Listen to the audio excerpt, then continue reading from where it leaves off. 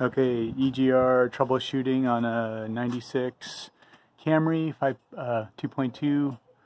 Um, anyways, I was getting PO 401 and couldn't figure out why. I did a few things and then finally I invested in one of these guys and you'll need one too. It's a brake bleeder vacuum pump kit. You can get it at Harbor Freight. Uh, was it 63391? It looked like that. Anyways, you'll need that and then you also want to get um, you'll want to get some of these adapters. This is a pretty cool adapter. It allows you to adapt different size hoses.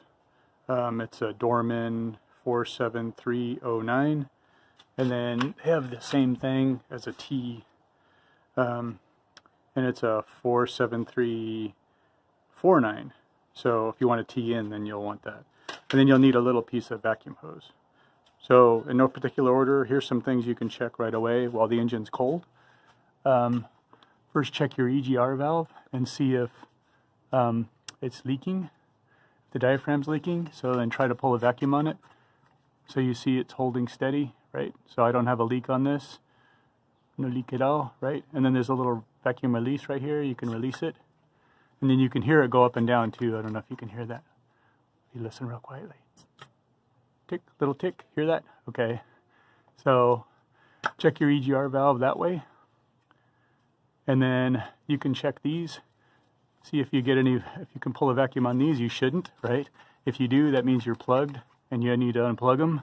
So there's that one and then um, and this one here we'll check them both see no vacuum okay uh, one other thing you can do Cho is check your um, your uh, valve over here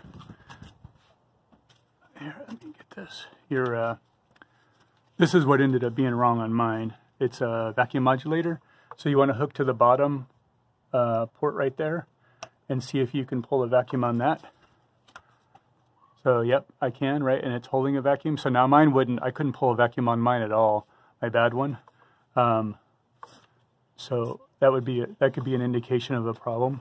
And also, um, let's see if I didn't try this yet, but this idea came to mind. So now hook into the hose running over the EGR valve and then see if you can pull a vacuum on that. Nope. Okay. So maybe that doesn't mean anything. I thought maybe that would test to see if the uh, spindle there was uh, okay or not. If you could get a vacuum there. So, okay. Because I replaced it um, like three days ago and I haven't had a um, PO401 come up again. So, and it was coming up like every day. So that was definitely an issue. Uh, let's see, is there anything else you can test while cold? Oh yeah, so one other thing you can test while cold is you can hook to this hose, your Q hose here, and see if you can pull a vacuum as well. So that's, so it's got a slow something going on there. Huh? wonder if that means I have a leak. I could hear the EGR valve open up though. Huh. All right, let's, what if we hook over here?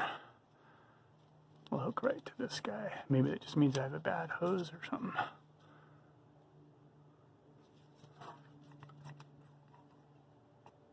Oh, same thing, huh?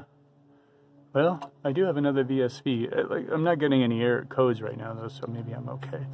All right, so I think that's it for cold testing. Let me turn it on and um, show you some other things you can check.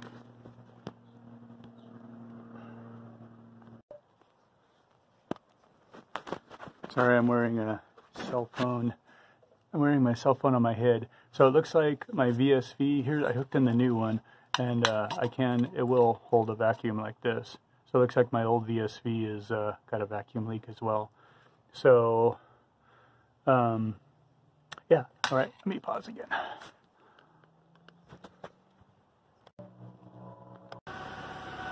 Okay, sorry for the craziness. Okay, it's back on. So, the car's still cold. I just started it up.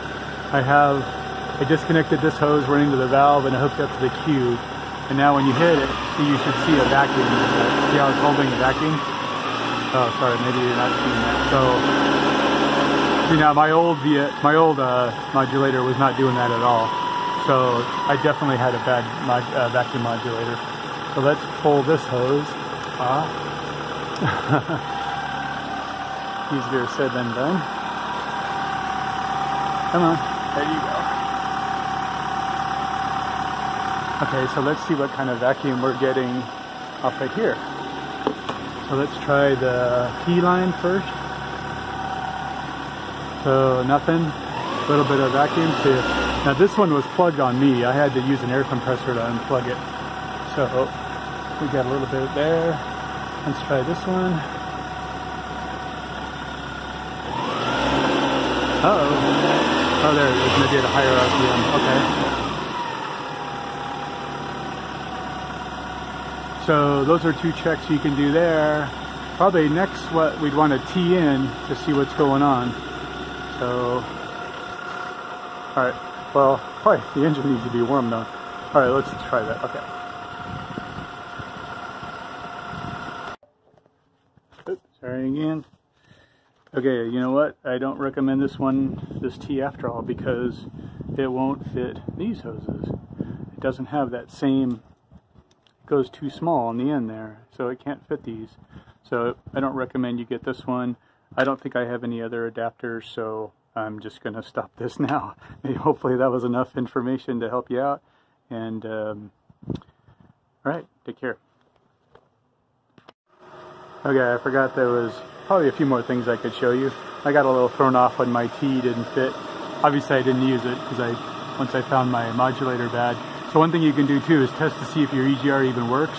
So you just hook up right to your EGR valve. When you pull a vacuum, you should kill the engine. Um, if it doesn't die, that means that, here, let me turn the car off. If it doesn't die, that means that your EGR is probably clogged. So where it mounts onto the engine there, there's a hole in there. And if you look at other videos, you'll see it too. And it can get clogged up with carbon.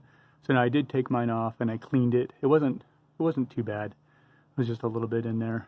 Um, you'll need to get that bad boy off you'll need a what's called a crow's foot 24 millimeter and you hook it up like this and then you can get onto that nut here now this is just for the 96 I think the 92 to 96 97 um, they have the EGR a little different um, also if you want to take it completely off um, you'll see the nut for the uh, hopefully you can see it right down here so that's for the metal tube that runs to the bottom there so um, I also clean my throttle body at the same time.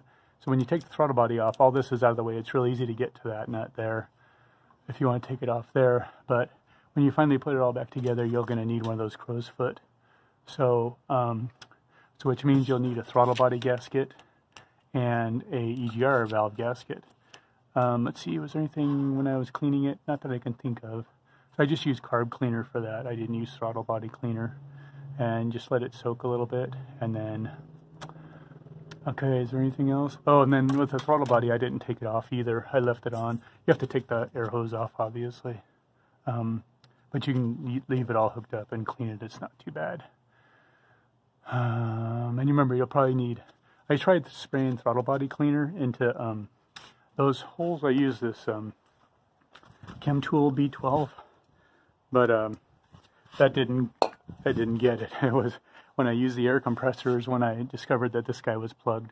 So um, while you're using the air compressor, you work the throttle, and you can hear it. Um, you can hear you know air being able to pass through there. So anything else? Okay, now I think that really is it. And now I need to go find a better tee because um, I want a tee to be able to troubleshoot that later. Goodbye. Okay, one last update. Um, remember I showed you earlier you can test your system. Right now the, the car's off. It's keys off. Um, you can hook up to your VSV there and if you pull a vacuum on your vacuum thing you can hear the EGR valve open and then when you press the button you hear it close. You hear it open and close. Being real quiet here. Anyways, I don't know if you heard that. Okay, but now if you come in here and you turn the key on Now when you do the same thing, EGR valve open. So you can pull a vacuum, but no, so you, you don't hear it opening and closing. So that's a way to find out if your VSV is working okay, if the solenoid's okay. All right, that's it. I hope that helped.